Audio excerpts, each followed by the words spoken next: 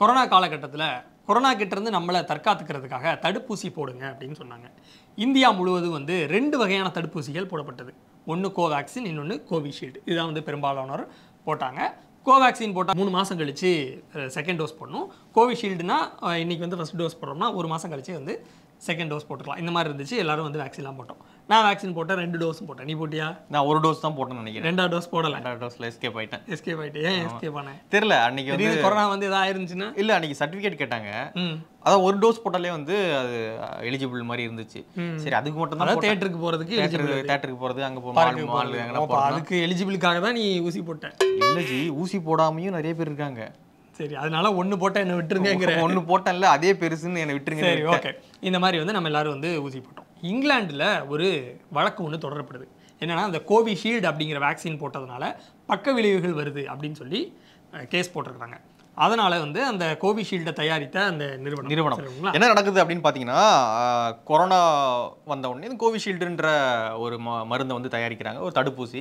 அந்த தடுப்பூசினால நிறைய பக்க விளைவுகள் ஏற்படுது அப்படின்னு சொல்லிட்டு வந்து இங்கிலாந்து கோர்ட்டில் வந்து தொடர்ச்சியான வழக்குகள் வந்து தாக்கல் செய்யப்படுது. இதனால அந்த கோவிஷீல்டை தயாரித்த ஆஸ்ட்ரோஜெனிகா அப்படிங்கிற நிறுவனம் வந்து பதில் சொல்ல வேண்டிய நிர்பந்தத்துக்கு தள்ளப்படுறாங்க. அதுக்கப்புறமா அவங்க பதில் சொல்லும் பொழுது சில டாக்குமெண்ட்ஸ் எல்லாம் சப்மிட் பண்ணி என்ன சொல்லியிருக்கிறாங்க அப்படின்னா கொரோனாவை தடுக்க கோவிஷீல்டு தடுப்பூசி செலுத்தி கொண்டவர்களுக்கு அரிதாகவே பக்க விளைவு ஏற்படலாம் அப்படின்னு சொல்லியிருக்காங்க. என்னென்ன மாதிரியான பிரச்சனைகள் வரும் அப்படின்னு அவங்க சொல்றாங்க பார்த்தீங்கன்னா அரிதான சந்தர்ப்பங்களில் இரத்த உறைவு ஏற்படலாம் என்றும் பிளேட்லெட் அப்படின்னு சொல்லுவாங்க. ரத்தத்தில் platelets.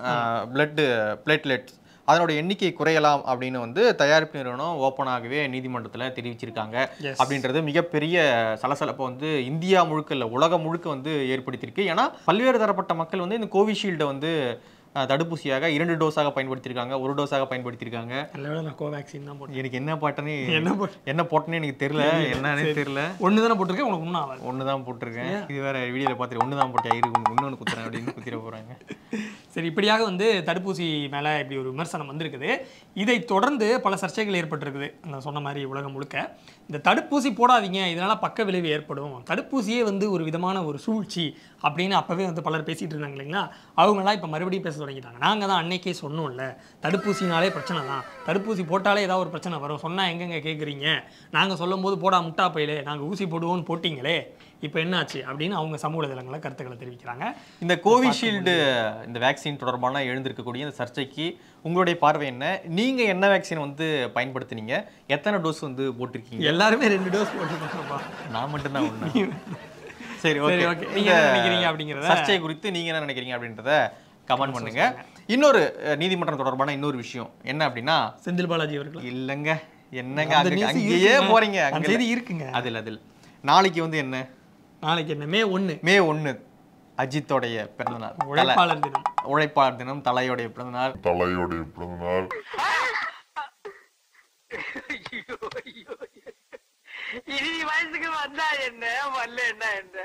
அப்புறம் வந்து பில்லாட் ஒன்னு ரிலீஸ் ஆகுது ரீ ரிலீஸ் இது வந்து நீதிமன்றம் தொடர்பான பிரச்சனை கிடையாது. என்ன சொல்ல வரோம் அப்படின்னு பாத்தீங்கன்னா நாளை மே ஒண்ணு அப்படின்றதுனால நாளையில இருந்து உயர்நீதிமன்றம் லீவ் லீவு ஜூன் இரண்டாம் தேதி வரை ஒன் மந்த் கோடை லீவ் சம்மர் லீவ் ஆமா. ஸ்கூல்ஸ்க்குலாம் லீவ் விடுவாங்கல்ல.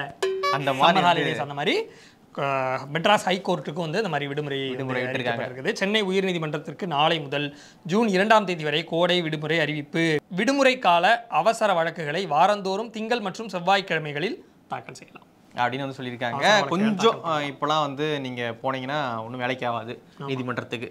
ஏன்னா வந்து நிறைய பெண்டிங்ல இருக்கும். முக்கியமான ரொம்ப ரொம்ப முக்கியமான வழக்குகள் தான் எடுத்து விசாரிச்சுட்டு இருப்பாங்க. அப்படி இருக்கும்போது சும்மா இந்த பெட்டி கேஸ்லாம் அப்படி போனீங்கன்னா ஒன்றும் வேலைக்கு ஆகாது. ஸோ எடுத்து சொல்ல வேண்டியது எங்களுடைய கடமை. அதனால நாங்கள் வந்து பதிவு பண்ணியிருக்கோம். ஓகேங்களா? அப்படியே வந்து நீதிமன்றம் நான் சொல்லிட்டேங்கிறனால சரி சொல்லுங்க.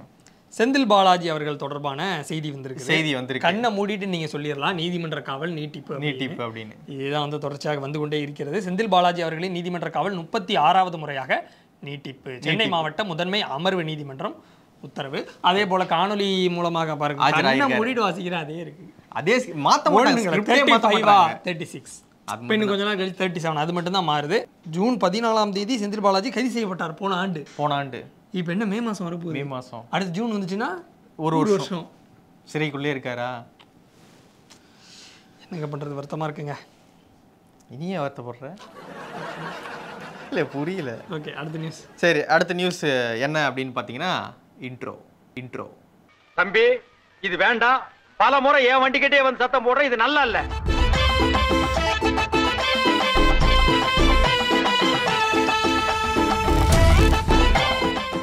என்னை பற்றி போலி வீடியோக்களை காங்கிரஸ் பரப்பி தேர்தல் பிரச்சாரம் செய்து.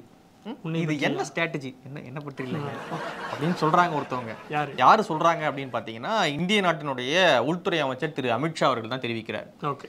போலி வீடியோஸ் பரப்பி வாக்கு சேகரிக்கிறீங்க உங்க தேர்தல் அறிக்கையை கொடுங்க. மக்கள் அதை நம்பினாங்கன்னா வாக்கு போடுவாங்க. அதை விட்டு இந்த மாதிரி? எதுவும் பண்ணாதீங்க அப்படின்னு கேக்கு நீங்க என்ன பண்ணாலும் மூன்றாவது முறையாக நாங்க தான் அப்படின்னா நாங்க தான் பாஜக தான் பாஜக தான் ஆட்சி. அப்படின்னு சொல்றாரு. என்ன சொல்றாருன்னு பாத்தீங்கன்னா தன்னை பற்றி போலி வீடியோவை பரப்புவதாக காங்கிரஸ் மீது உள்துறை அமைச்சர் வந்து குற்றச்சாட்டை வந்து முன்வைக்கிறாரு. போலி வீடியோவை வைத்து காங்கிரஸ் தேர்தல் சந்திக்க கூடாது தேர்தல் அறிக்கையின் அடிப்படையில் தான் தேர்தலை சந்திக்க வேண்டும் என்று அறிவுறுத்தியிருக்கார். அதனால இப்படி பண்ணுங்க. இந்த மாதிரி அரசியல் பண்ணுங்க. முடிஞ்சா எங்களை ஜெயிச்சு பாருங்க. இந்த மாதிரி அரசியல் பண்ணாதீங்க அப்படின்னு அரசியல். அப்படின்னு வந்து அவர் வந்து சொல்லியிருக்காரு. மோடி அவர்களோட இந்த ஸ்டேட்மெண்ட்டை சொல்லியிருந்தாரு. நான் சொல்லதெல்லாம் வந்து திருச்சி இல்ல வேற வீடியோ போட்டு இப்படி பரப்பி காங்கிரஸ் வந்து ஒரு அரசியல் செய்- செஞ்சிட்டு இருக்கு அப்படின்னு வந்து அவர் கூட சொல்லியிருந்தார் தேர்தல் பிரச்சாரத்துல. சரி ஓகே அப்போ ஏதோ அந்த எந்தெந்த மாநிலங்கள்லாம் வந்து இப்போ எலெக்ஷன் நடக்குதோ அந்தந்த மாநிலங்கள்லாம் வீடியோக்கள் சுத்திக்கிட்டு இருக்கு ஆமா போலி வீடியோஸ் போலி வீடியோ சுத்துது. சரி ஓகேங்க அப்படின்னு வந்து அவங்க சொல்றாங்க. சரி ஓகே சரி மக்கள் அதை நம்புறாங்க எல்லா எலெக்ஷனும் எப்போ முடியும்? சட்டு புட்டுன்னு முடிஞ்சு ரிசல்ட் ரிசல்ட் வராதா? என்னங்க ஒரு மாசம் கழிச்சு வச்சிருக்கீங்க. போங்க. சரி விடுங்க. டக்கு டக்குன்னு வந்தா தான் ஆர்வமா ஆர்வமா இருக்கும். சட்டமன்ற தேர்தலுக்குலாம் விடுறாங்கல்ல இன்னைக்கு எலெக்ஷன்னா நாலு கழிச்சு ரிசல்ட் நான் ஆமா ஒரு ரெண்டு நாள் மூணு நாள் அப்ப என்ன பண்ணிருக்கணும்? நமக்கு வந்து நமக்கு முதல் கட்ட தேர்தலே நமக்கு தமிழ்நாடு கடைசி கட்டத்துல வச்சிருந்துருக்கணும். அப்படி வச்சிருந்தா நமக்கு எலெக்ஷன் முடிஞ்சு ஒரு ஒரு வாரத்திலே வந்திருக்கும். முதல்ல வச்சிட்டாங்க நமக்கு. சரி ஓகே ஜூன் நாள் பார்ப்போம். ரிசல்ட் வெயிட் பண்ணுவோம். யாருக்கு எவ்வளவு சீட்டு எவ்வளவு பர்சன்டேஜ் யார் அங்கீகரிக்கப்பட்ட கட்சியாக மாறுறா யார் அங்கீகரிக்கப்படாத கட்சியாக மாறுறா அப்படின்றத வெயிட் பண்ணி தான் நம்ம பார்க்கணும். ஓகே பொறுத்திருந்து பார்க்கலாம். அடுத்தபடியாக வழக்கம் போல நம்ம தினமும் வந்து ஒரு ஸ்லாட் ஒன்று ஒதுக்கி வச்சிருக்கோம். நீங்க எதை சொல்ல போதை வரேன்னு செய்தி தெரியும் தெரியுது தெரியுது. முதல்ல அண்டை மாநில செய்தி முடிச்சிருவோம். அண்டை மாநில செய்தி ஒண்ணு இருக்கு. என்ன அப்படின்னு பாத்தீங்கன்னா இப்போ அமித்ஷா சொன்னாருன்னு சொன்ன அதுவும் அண்டை மாநில செய்தி அது அண்டை மாநில செய்தி. அது கூட சேர்ந்து இன்னொரு அண்டை மாநில செய்தி இது அண்டை மாநில போர்ஷன் இது. போர்ஷன் ஆமா அண்டை மாநில போர்ஷன் அப்படின்றதுனால அதை முடிச்சிருவோம். கர்நாடகா சார்ந்த விஷயம் இது. தேவகவுடா அவர்களுடைய பேரன் அவர் பேர் வந்து பிரஜ்வால் ரேவண்ணா. அவர் வந்து அவர் பேரு. இப்போ வந்து எலெக்ஷன் வந்து போட்டி போடுறாரு. அங்க ஜேடிஎஸ் வந்து ஜேடிஎஸும் பிஜேபியும் கூட்டணியில் இருக்காங்க ஓகே. கர்நாடகால. அவங்க வந்து எலெக்ஷன் வந்து சந்திச்சிட்டு இருக்காங்க இந்த சமயத்துல தான் பிரஜ்வால் ரேவண்ணா அவர்கள் மீது ஒரு பாலியல் குற்றச்சாட்டு. ஓகேவா இது மிகப்பெரிய ஒரு பிரச்சனையாக கர்நாடக அரசியல்ல எதிரொலிக்க வந்து தொடங்கியிருக்கு. மூவாயிரம் வீடியோக்கள் அடங்கிய நிறைய விஷயங்கள் இருக்கான் மூவாயிரம் வீடியோவா மூவாயிரம் வீடியோ என்னங்க சொல்றீங்க? எங்க இதே மாதிரி தானே நம்ம தமிழ்நாட்டுல வந்து இந்த பொள்ளாச்சி பொள்ளாச்சி, பொள்ளாச்சி. நடந்துச்சு. அப்போ வந்து அதை செய்திகள்ல வெளியிடும் பொழுதும் இதே மாதிரி தான் ரெண்டாயிரத்தி 2500 வீடியோக்கள் இருக்கு. பல பெண்களுடைய வீடியோக்கள் இந்த மாதிரிலாம் பண்ணிருக்காங்க மூவாயிரம். அது வந்து எவனே தெரியாது. எவனோ மூணாவது நாலாவது கட்ட ஆளு. ஏதோ பார்னு வச்சு நடத்துற நடத்திட்டா அவனே தெரியாது. அர- அரசு அதிகாரி இல்ல அரசியல்வாதி இல்ல ஒரு காவல்துறை. அந்த மாதிரி கிடையாது. சும்மா எவனோ ஒருத்தவன் பட்டான்னு வச்சுங்க. அதுவே அவ்வளவு பிரச்சனையாச்சு. இங்க வந்து பாஜக கூட்டணி கட்சியினுடைய ஒரு வேட்பாளர் ஜேடிஎஸ் உடைய வேட்பாளர். அவர் வந்து தற்போது என்ன பண்றாருன்னா தற்போது வரையில் ஜேடிஎஸ் கட்சியினுடைய எம்பியாக தான் இருக்காரு. இருக்காரு. ஓகேங்களா. இவரு சம்பந்தப்பட்ட இவர் இவர் மீது அந்த பிரச்சனை வந்து வந்திருக்கு. இவர் வந்து கட்சி விட்டு நாங்க நீக்க போறோம் அப்படின்னு சொல்லிட்டு குமாரசாமி ஜேடிஎஸ் உடைய லீடர் வந்து சொல்லியிருந்தார் நேத்து. நாங்க வந்து கட்சி விட்டு நீக்க போறோம். நீங்க என்ன பண்ணோம் பண்ணீங்க அப்படின்னு வந்து. நடவடிக்கை எடுத்துக்கங்க அப்படின்னு சொல்லிட்டு அவர் சொல்லிட்டார். காங்கிரஸ் வேண்டுமென்றே எங்கள் குடும்பத்தின் இமேஜை சீர்குலைக்க இந்த விஷயத்தை கையில் எடுக்கிறது. இந்த விஷயத்தில் தேவகவுடாவின் பங்கோ அல்லது என் பங்கோ என்ன இருக்கிறது? குமாரசாமி கேட்கிறார். நாங்கள் இதற்கு பொறுப்பேற்க முடியாது. இது முழுக்க முழுக்க பிரஜ்வால் ரேவண்ணாவின் பிரச்சனை. நாங்கள் அவருடன் தொடர்பில் இல்லை. அவரை சட்டத்தின் முன் நிறுத்த வேண்டும். இதுவே அரசனுடைய கடமை. சரி ஓகே. ஓகேவா? நீ நிறுத்தி. நாங்க வந்து சப்போர்ட்லாம் பண்ணல. தப்பு பண்ணியிருக்கும் பட்சத்துல விசாரணை பண்ணுங்க நடவடிக்கை எடுங்க. என்னனாலும் பண்ணிக்கங்க என்ன வாங்கி கொடுத்தீங்க? என்ன பண்ணிக்க போங்க அப்படின்ட்டாரு அவரு. என்னங்க நடக்குது நாட்டுல? இவர் ஜெயிச்சு எம்பியா மேல போனாருன்னா ஆல்ரெடி எம்பியா தான் இருக்காரு. இருக்காரு. எவ்வளவு வீடியோ? திரும்ப ரெண்டாயிரத்தி தொள்ளாயிரம் கிட்ட மூவாயிரம் வீடியோ. வீடியோ. சரி ஓகே என்ன முடிச்சிடுவோமா? இதுல மூவாயிரம் சொல்றாங்க. இவர் மூவாயிரம் சொல்லியிருக்காரு. இன்னொரு நியூஸ்ல என்ன பண்றாங்க மூவாயிரத்தி ஐநூறு ரெண்டாயிரத்தி ஐநூறு இப்படின்னு எத்தனை எல்லாமே பெரிய பெரிய ரெண்டாயிரத்துக்கு மேல தான் ரெண்டாயிரத்தி ஐநூறு கிட்ட தான் வந்து வீடியோஸ் வந்து இருக்கு. என்னவோ போங்க இந்த என்ன மாதிரி ஆட்கள்லாம் ஜெயிச்சு. உள்ள போய் விளங்கிடும். சரி நெக்ஸ்ட் என்ன பார்த்தீங்கன்னா நம்ம இந்த போதை ஸ்லாட்டுக்கு தினமும் வந்து போதையால தமிழ்நாட்டுல எங்கெங்கெல்லாம் வந்து அட்டுழியங்கள் நடக்குது தமிழ்நாட்டுக்குள்ள வந்துருவோம். பேசிட்டு இருக்கோம் தமிழ்நாட்டுக்குள்ள வந்திருக்கோம். ஸோ அந்த வகையில மன்னார்குடியில மன்னார்குடி. அரசு மருத்துவமனையில இளைஞர் ஒருத்தர் தாக்குதல் நடத்தியிருக்கிறார். என்ன? கஞ்சா போதையில். கஞ்சா போதில் என்ன. காரணமா கஞ்சா போட்டு என்ன காரணம் தெரியல. கஞ்சா போட்டாதான் காரணமே தேவையில்லையே. கஞ்சா தான் காரணம். தான் அதை. விட ஒரு காரணம் வேணுமா? மாப்பிள என்ன மாப்பிள ஆச்சு? கஞ்சாவை போட்டு அரசு மருத்துவமனையில போய் அங்க இருக்கிற பேஷண்ட்டு அப்புறம் டாக்டர்ஸ் நர்ஸ் இவங்க எல்லாரையும் டார்ச்சர் பண்ணிருக்காங்க. நானும் அந்த வீடியோ பார்த்தேன். சேர்லாம் தூக்கி போட்டு உடைக்கிறாரு அப்புறம் ஏதோ ஒரு மாதிரி டான்ஸ் எல்லாம் மாதிரி இருப்பா டான்ஸ் இல்ல சி டான்ஸ் இல்ல. மஜாக. பம்போலே அந்த அதான் டான்ஸ் என்னமோ என்ன பண்றதுன்னு தெரியாம ஆடி கிசா கிசா பாதை. சிவன் பாதை இல்லையா? கட் கட் சிவன் பாதை இல்ல. அது கட் பண்ணி வச்சு நம்ம கிசா பாதையில கிசா பாதை தான். போட்டு டாக்டர் அடிக்க போறாரு. அங்க இருக்க வந்து பேஷண்ட்ஸ்லாம் அடிக்க போறாரு. அங்க இருக்க பொருட்கள்லாம் உடைச்சிட்டாரு. ஃபுல் கஞ்சாவா? ஃபுல் சரக்கம். ஃபுல் சரக்கு. எல்லாம் ரெண்டு கலந்து போட்டுறாங்க போல. ஒண்ணு போட்டா நீ வந்து ஒண்ணு போட்டா அது தகராறு.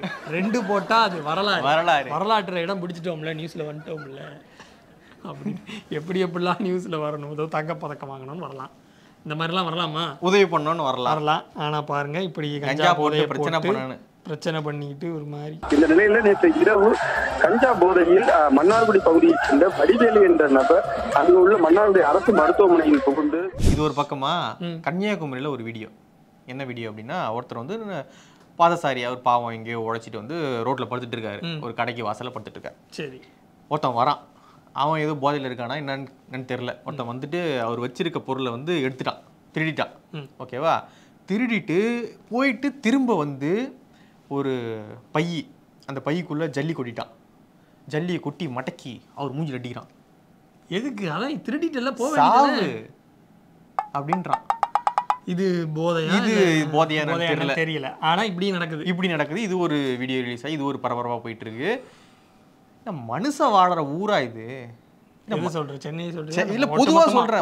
உலகமே உலகமே. இப்படி ஆகி ஏன் அப்படி இருக்கு? என் காலத்துல எப்படி தெரியுமா இருந்துச்சு? முன் காலம்னா எப்போ? ஆயிரத்தி தொள்ளாயிரத்தி எழுபதுகள்ல. எழுபதுகள் எப்படி இருந்துச்சு அப்போ? எழுபதுகள்லாம் பிரச்சனையே இல்லைங்க. ஒன்றும் பிரச்சனை கிடையாது? ஒன்லி ஜாதி பிரச்சனை தான்? இல்ல அது இல்ல அது கொஞ்சம் இருந்துச்சு. இப்பவும் அது இருக்கு. சரி அது நம்ம உள்ள போக தேவையில்ல. மனிதர்கள் ஏன் இவ்வளவு குரூரமாக மாறிட்டாங்க அப்படின்றது உள்ளபடியே வருத்தமாக இருக்கு. இருக்குது. இதுக்கு முக்கியமான காரணம் வந்து அரசியல் தான். தலைமைகள் சரியில்லை. சிஸ்டம் இப்படிதான். சிக்னல்ல நிக்கலனா நம்மகிட்ட இருந்து ரூபா பிடிங்கிடுவானுங்க அதே சிக்னல் வேலை செய்யலைன்னா நமக்கு நூறு ரூபா கொடுக்கணும்ல? கொடுக்க மாட்டாங்க. என்ன எங்க இருந்து எங்க வர? ஏய் போ அப்படி. அப்படின்ற மாதிரி. சரி இந்த வீடியோலாம் நீங்கள் பாருங்கள் உங்களுடைய கருத்து என்ன அப்படின்றத கமெண்ட் பண்ணுங்கள் நாங்கள் சிரிச்சுக்கிட்டே சொன்னாலும் தமிழ்நாட்டினுடைய சட்ட ஒழுங்கு சூழல் அப்படின்றது ரொம்பவே மோசமாக தான் போயிட்டுருக்கு அப்படின்றது தான் செய்திகளில் வரக்கூடிய விஷயங்கள் மூலியமாக நமக்கு தெரியுது.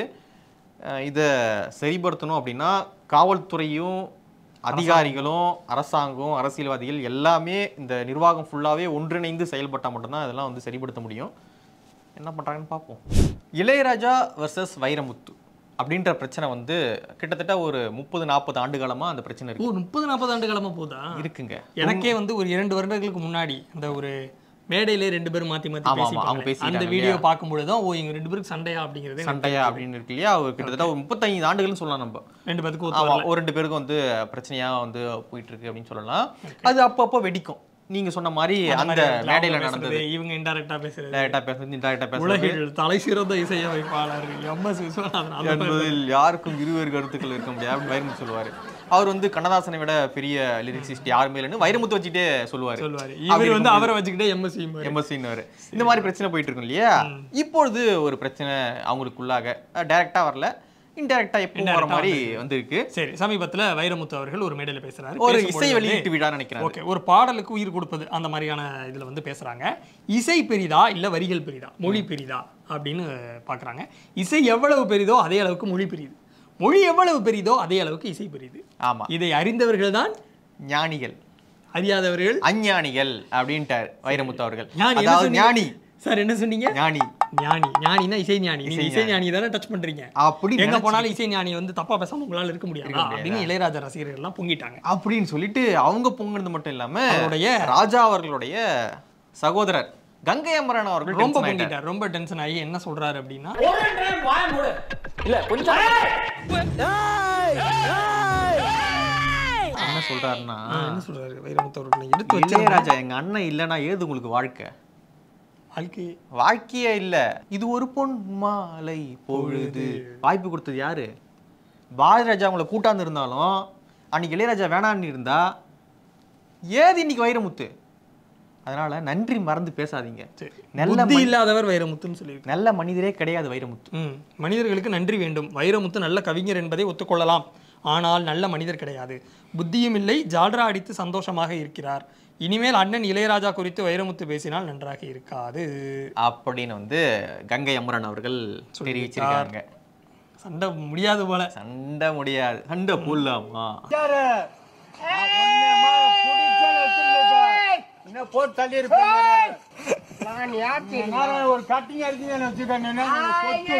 இந்த மாதிரி ரெண்டு பேரும் சண்டை போட்டுட்டே மாதிரி. இருக்கிறாங்க மீண்டும் ஒரு முறை இருவரும் இணைந்து ஒரு படத்துக்கு ஒர்க் பண்ண எப்படி இருக்கும்?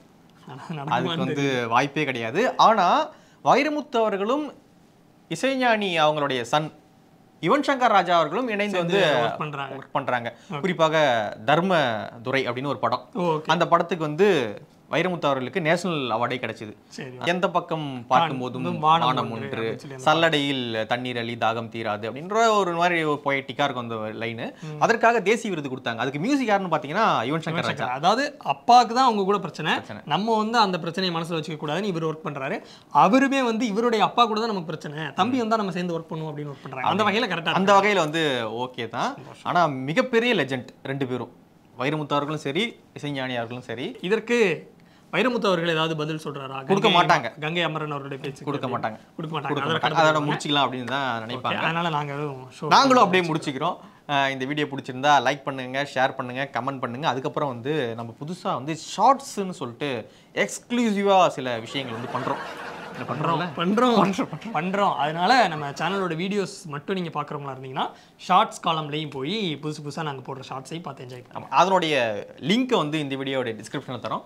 பிடிச்சா லைக் பண்ணுங்க ஷேர் பண்ணுங்க கமெண்ட் பண்ணுங்க. உங்களுடைய கருத்துக்களை கமெண்ட்ஸ்ல சொல்லுங்க. சில நேரங்களில் இசையை விட மொழி உயர்ந்ததாகவும் சில நேரங்களில் மொழியை விட இசை உயர்ந்ததாகவும் திகழுகிற சந்தர்ப்பங்கள் உண்டு. இதை புரிந்து கொள்பவன் ஞானி புரிந்து கொள்ளாதவன் அஞ்ஞானி. இனிமேல் வைரமுத்து அவர்களே மரியாதை தான் பேசிகிட்டு இருக்கேன். இளையராஜா அவர்களை பற்றி ஒரு சின்ன குற்றமோ குறைகளோ நீங்கள் சொல்வதாக இருந்தால் அதற்குரிய விளைவுகளை நீங்கள் வேறு மாதிரி சந்திக்க வேண்டியிருக்கும்